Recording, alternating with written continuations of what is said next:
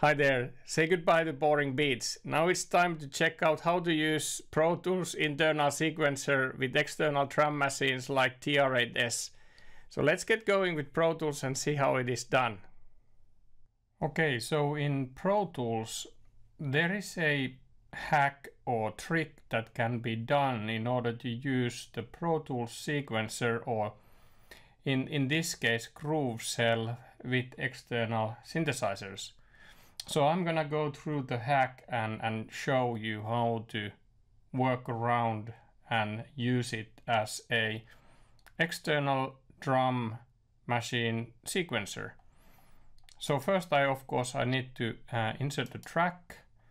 Um, I have done a um, track preset for my TR8S so I need to go to my synths and then from here I will pull my TR8S that will kind of pre-configure it for, my, for me.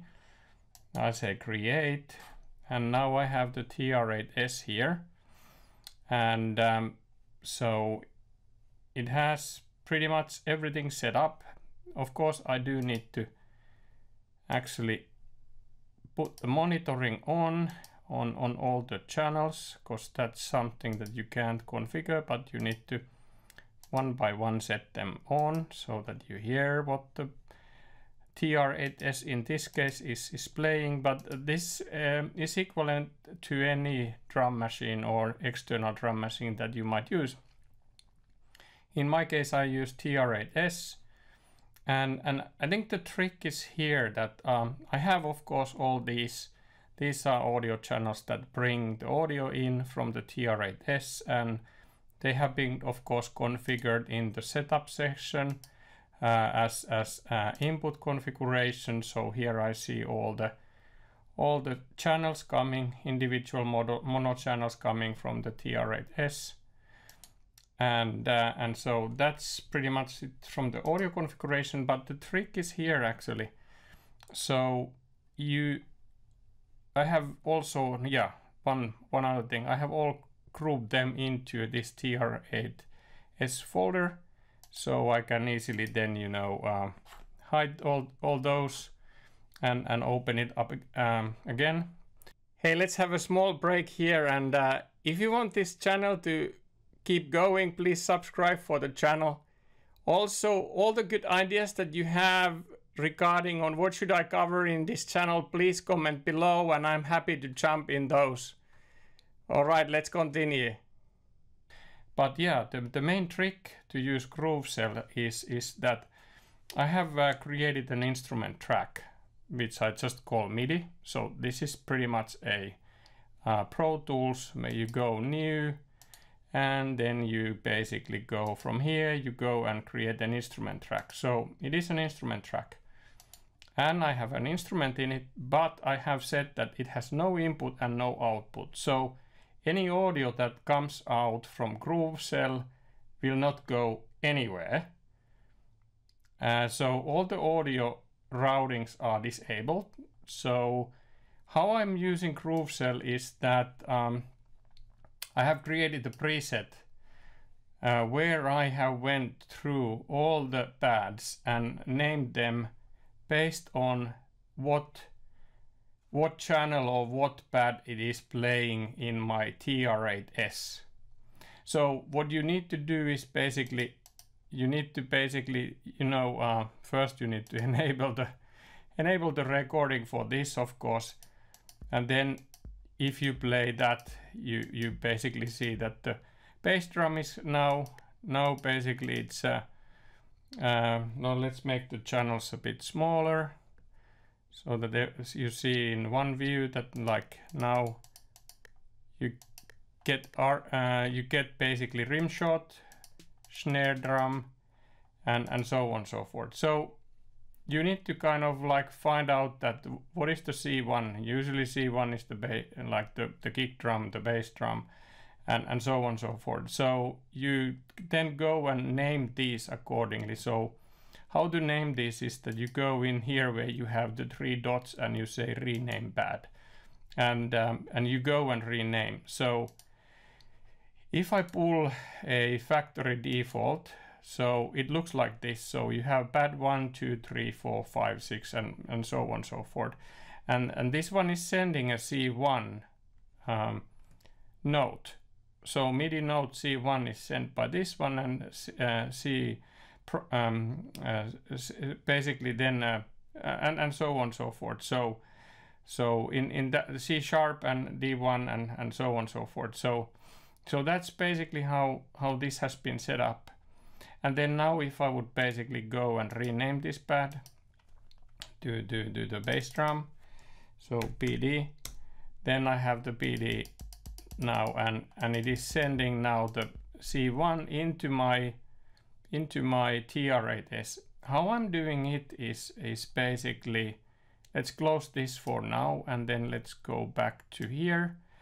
So what you need to do is that in here you have where the MIDI comes from. So you need to actually select that the MIDI comes from GrooveCell out and all channels, just just to make sure that you know any MIDI sent out from GrooveCell will come into this um, into this track.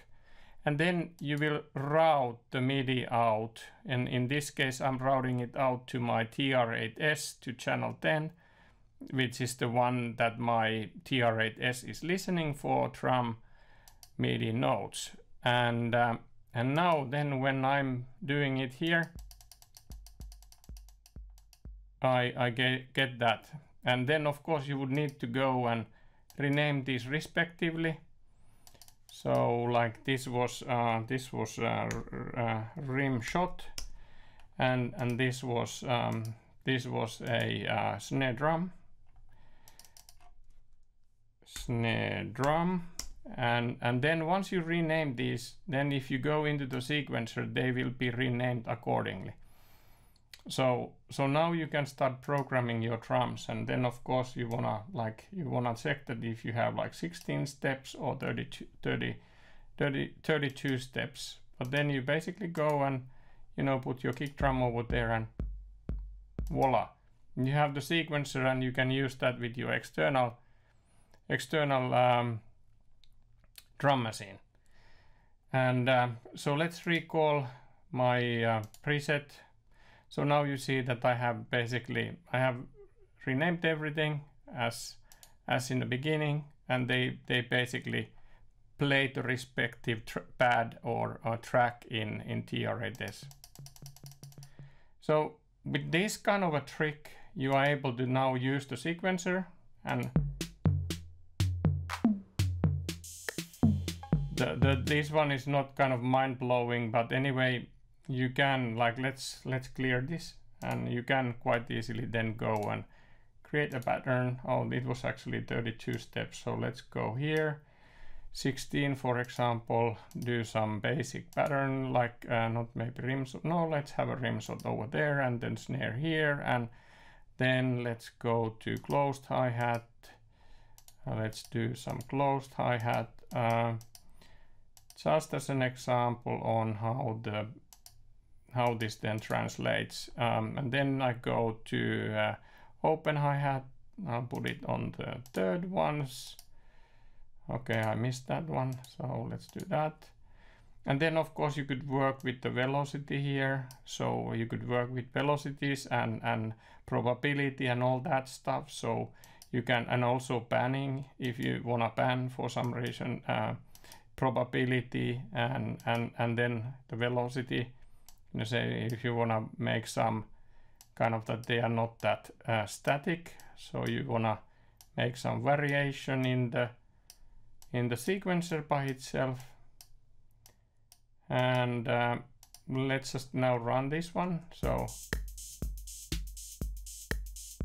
So that's basically it how you can then program your drums um, towards extern external drum machine with this trick in GrooveCell and then of course, if you would like to bring this MIDI, you can do it so that you basically go here to export and then you say export MIDI.